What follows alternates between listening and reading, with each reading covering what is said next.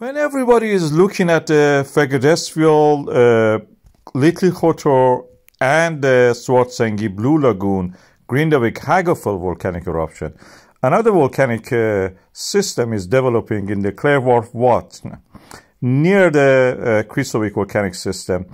As of now, the ma magnitude and the number of the earthquakes near this area have increased, They're surpassing what is in the Svartsengi and that has caused eruption in that area. And now we are seeing this one is developing into something big, it seems. This is in the Reykjanes Peninsula of Iceland. It is called after the lake uh, in that area. It's a deep lake, glacial lake. It has formed surprisingly in a graben, in a rift Graben and rift are just different by the size. Rift will be bigger. In a rift which has formed the Krýsuvík volcanic system. Yes, that's famous volcanic system which have reached in the past up to the vicinity of the Reykjavik. That is the capital of the Iceland.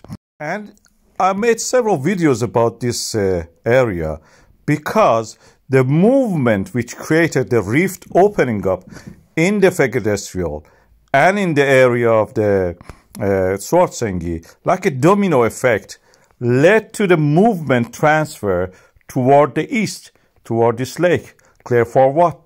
And the Krýsuvík volcanic system, due to this movement, is becoming active again.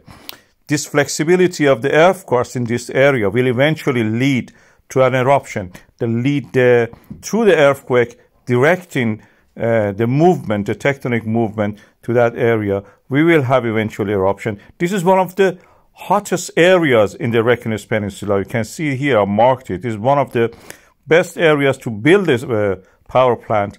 If it was not for the imminent uh, danger of eruption, there are many maars. Maars are the volcanic systems created when the water comes into contact with the magma.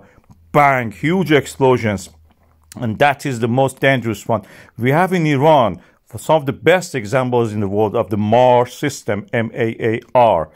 And uh, these are created when the magma was in contact with the water. And in that area, we have several systems like that.